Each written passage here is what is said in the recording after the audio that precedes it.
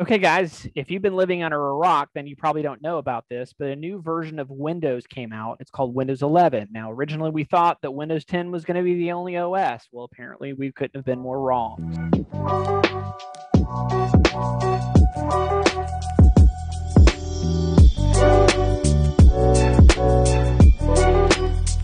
11 came out and it's been out now uh, for a day ago from the time of the recording of this video. It's actually going to be available to development in a week from now. So that should be right around the 1st of July and mm-hmm. then should start being available for general release at the end of this year at some point. So let's tune in and start talking about what we know about it and what we should want to know more about. Here we go. All right, Bobby. So spill the tea. Is there any sort of version that we can get our hands on right now, today, as we're filming this? It's the 25th. So do you have anything that you're using right now to test these products?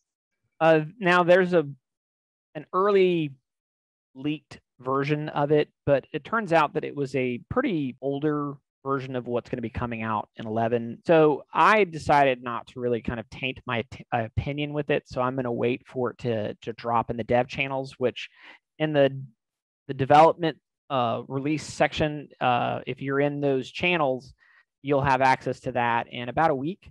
Mm-hmm. But then it will start in some of the other uh, available channels. It'll start being released, and then general release will happen uh, at closer to the end of the year. Uh, specific time still to be announced, but it's looking like sometime around Thanksgiving or Christmas. And I want to show you something right here. Mm-hmm. Uh, this right here. You know what that is? Mm, some sort of chip. It's a chip. It's called a TPM chip. Uh, mm-hmm. Uh, this happens to be made by MSI. Uh, mm-hmm. Uh, I just bought a custom computer from Cyber Power, mm-hmm. and uh, it's a pretty powerful computer, I might add, and been very happy with it. Uh, but one of the things that the computer has was an adapter for a TPM chip, but it did not come with a TPM chip. Right. So, first off, what is a TPM chip? So, this chip has the ability to encrypt and save your information, your login information, so that when the computer goes to boot up, it has the capability of unlocking it for you as the boot process goes to happen, mm-hmm. and then close the door behind you when you shut it down. So basically, in a resting state, your information is fully encrypted and no one can access it. Um, mm. So this TPM chip right here affords you that capability because it saves that information um, on this kind of like the unlock code, uh, a piece of it. It saves right. it on this for you, and and that technology is made available by this chip and Windows. Mm. Well, Windows 11 requires this chip to be on your system. Now, a lot of the manufacturers already have it built in, but not all of them. Most laptops do nowadays. Mm-hmm. If you've bought it with the last few years, probably it came with it. One of the ways that you can find out is by opening up Device Manager. Mm-hmm. And in there, you will see security devices. And if you drop it down, it'll tell you that it's a TPM chip and what version it is. So, um, you know, that's a place that you can manually check yourself. Now, mm-hmm. with that being said, if you don't have it, if you can't get a chip like this to install, you're not going to be able to install Windows 11. Period. Right. You're just kind of dead in the water. and that's not really very clearly explained. It's just part of the system requirements. And then, you know, you go to try to install it and it's like, womp womp. Doesn't work, doesn't work for you. Hmm. Well, that's interesting. So there might be a couple of people um, that really do want to switch, but we'll still have to keep with Windows 10 because of that um, yeah. chip requirement. Hmm. I, w- I hope I have it. uh, you may want to start thinking about getting inventory of the systems that you want to upgrade to see if they need a TPM chip, because my guess is there's probably going to be a run on these. So um, if you have systems that don't have them and they have the, the ability to update them, you probably should get them now. So that's something to take into consideration. So, how is this going to be released to the public, Windows 11? Good question. So, 11 is, is it's going to be different than, than previous releases. It's just going to be an update. So, it's right. going to be a feature update that when the update goes through to validate the settings, like for example, does the system have a TPM chip? Does it have the amount of cores it needs? Does it have the right video and processor capability? If it does, then it will unlock that fe- that feature update to move you to 11. Um, if it doesn't sense the capability, it just won't show up. So then mm-hmm. what'll happen is you'll just keep doing your cadence and updates of your Windows 10. It just won't be available. Yeah. So is this going to be like a all day update or like something pretty simple? How is that going to work on your machine?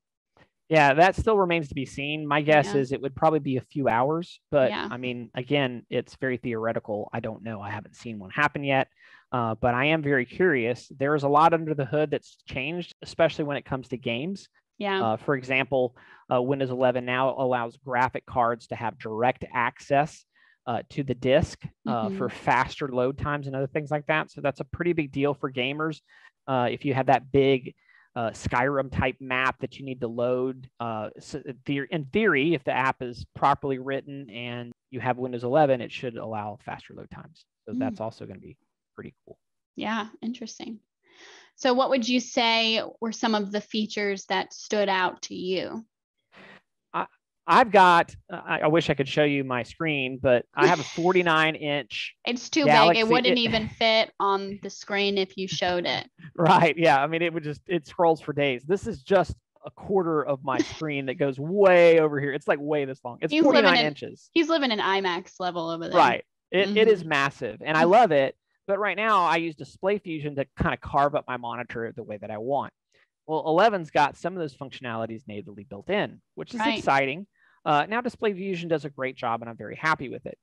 But it's kind of nice that uh, it has it built in and it has some of those capabilities for when I dock and undock uh, that it works. Um, yes, I heard about the docking station. So apparently when you have that docked and you're using a desktop to you know have let's say three split screens on that one desktop and you choose to undock and go away once you come back and dock again it saves your setup and the way that you had those three screens on your monitor which is really cool. Another thing that i think is really interesting that it's worth bringing up is that they do offer the capability and i haven't seen this yet so mileage may vary, there is supposedly a registry setting that allows you to flip the desktop back to a more traditional Windows desktop 10 style.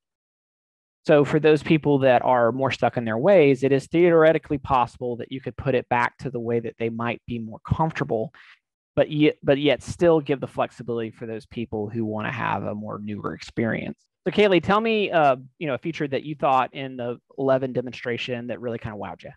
So the thing that really stood out to me was actually how they changed the way tabs looks. The tabs are usually horizontal on your windows, um, but they have now a drop down menu to the left of the windows that has all of your tabs broken down in that way. I thought it was interesting because I can't stand having to look through all of those. Something for me that I think was uh, kind of a shocker was the the tighter integration with Teams. Right. And and I will say when I saw that app down there, I got excited. I thought that it was going to be when they clicked on that a list of meetings that I had for the day and an easy way to click on my meetings for right. teams because if you watched our go-to meeting video, which I can link above, we talk about how go-to meeting has this really nice app at the bottom of your screen that has a simple list of your meetings. And Teams just doesn't have that. You have to click into it and go to your calendar to see all of those. And so I was really excited. I thought that was what it was. But turns out it's just a way to connect with anyone um, that has that app on their computer. And it's kind of like Skype you know right, right. um so like how bobby was saying it tries to bridge the team's uh, business side of things with personal and that does seem a little scary so it's going to be a little interesting to see how they pull that off. It's all a mystery it's all a mystery that we're ready to solve. So one thing that I did notice is there was a word in there that I heard that was a little bit similar to something that Apple brought up, which was widgets. So I'm seeing some similarities between Windows 11 and the new iOS. So I'm curious if we notice any more um, when we dive into Windows 11 a little bit more. Well, and you you also notice that the that the bar is now centered, right? Very much like Apple does the same thing. Um, so you see that um, the the fact that the update is free.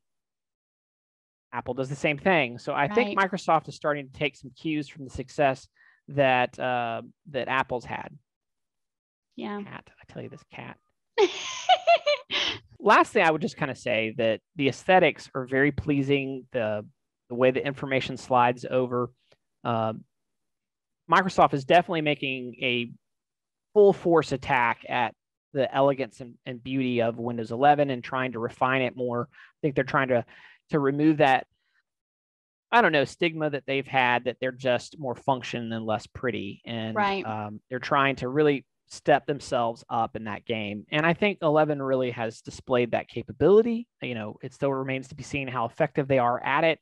Uh, but it does look very elegant. The information is there with the widget capabilities. And they did mention that Windows 10 is going to have an update in the future as well. So for those people that don't get it right away, there are still updates coming for yep. Windows 10. So do not fear. Um, they are helping you as well.